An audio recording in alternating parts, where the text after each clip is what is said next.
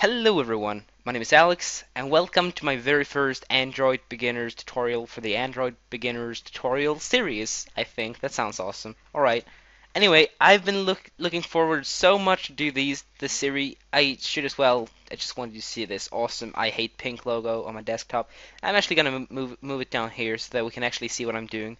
Or so that you guys can actually see what I'm doing. Now, the first thing we need to do before we can actually develop anything in Android, um, is to download something called the Java JDK.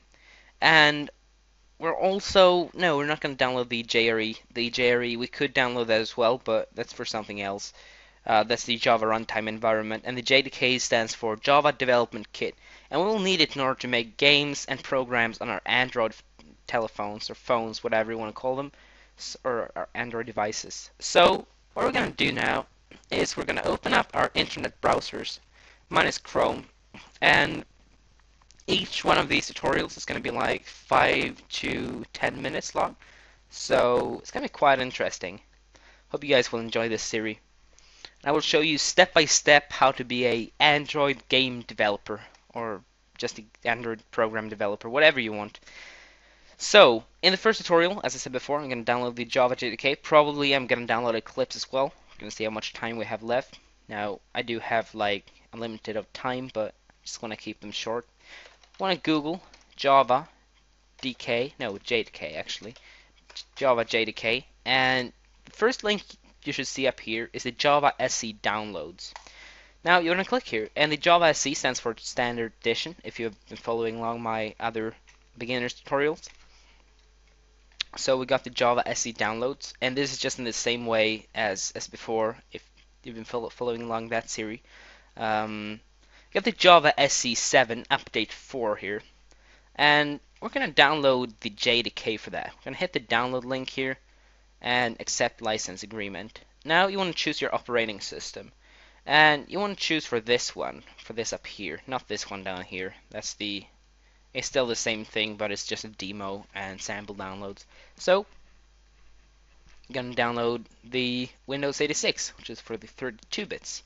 I want to hit download here, and what this is going to do is that it's going to give, give us one of these files here. Uh, it's going to be an installer for the JDK 7 update 4.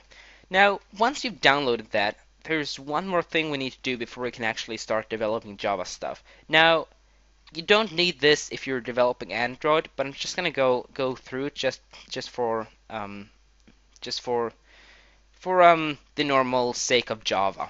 If you want to develop stuff out outside of Eclipse, for example. So we're gonna minimize this. Once you've you've gone through this installation guide, it should pop up in your in my Alex downloaded downloads here. It should be right here. then you can double click it and you can run it and you you can go through it. Now, once that is done, we want done, done. oh my god, that sounded very, very strange. Alright, so once that is done, we're going to go over to actually setting up the whole Java thing. So, we're going to go inside our computer here. We're going to go to our, to our C drive, or wherever you installed your Java. And I installed my Java, I think, my program files, if you can find them. Um, program, wow, oh, there we go. Alright, and then Java down here you can see that, that we got the JDK 1.7.0 underscore 03. Now you download probably download the 0, 04 update or the fourth update, or you might have not downloaded. You, you might have downloaded like the 1.8, whatever. Uh, it should just say JDK in the beginning. Want to double click this and go to the bin here. Now, if you're on Windows 7, you want to click up here and copy this path here. Now, if you're on Windows XP, I think, you're going to have to go to Properties here, and you're going to have to copy this place location thing here. You, then you can close this down. Then you're going to go to your computer here, right-click it, and go to Properties. Now, from the Properties here, you want to go to Advanced System Settings. From the Advanced System Settings, you can go to this Properties setting here. Actually not. you can go to this Environment Variables right here so they're wrong in my my uh, Java beginner tutorial series as well. That's awesome. Alright, so for the variable name, you want to hit the, the new button here. And for the variable name, you want to go with path. Has to be path, else, else this is not going to work. And now you want to you want to paste the link in here, or the, the place, the location, whatever you have here. Want to hit OK. Now we got a variable for that. Alright, you just want to hit OK, OK, and close that down. So now we should have we, we, we should have set up Java correctly. Now it's just a few things missing, and we're actually going to have enough time for for downloading Eclipse in this episode as well. So first of all, what is Eclipse? Eclipse is a coding software which allows you to type in code and it compiles everything for you. And in this series, we're, we're, we're going to be working with a, with a plugin or plugin for Eclipse, which allows you to make Android things easier in Eclipse. So we're going to go to our internet browser, just to remove this, and we're going to go for with eclipse.org. Now, when you hit eclipse.org, this page will appear. It might look a little bit different for you. Then you're going to go to the downloads page right here, and you want to see that you, going to see that there are several downloads that you can download. I'm going to go with the one at the top, Eclipse IDE for Java EE developers. Now, it's not necessary.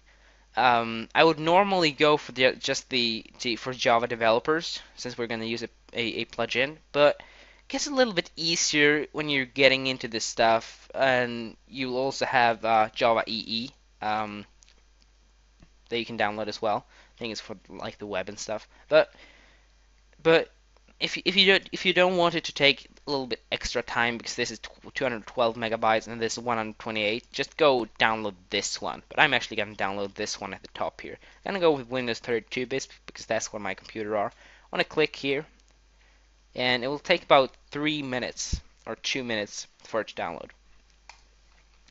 So I'm just gonna pause the recording and I'll be right back when the download is downloaded and by magic, the download is downloaded, or the thing is downloaded. Alright, so I want to click this show in folder here. If you're on Google Chrome, you want to do the same.